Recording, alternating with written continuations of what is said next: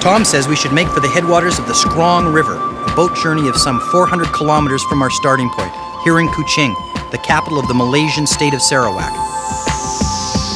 Borneo is the largest landmass between Australia and Asia, and it's about as far from home as two Canadians can get. At just a single degree north of the equator, Vincent Thomas couldn't have picked a much hotter place either.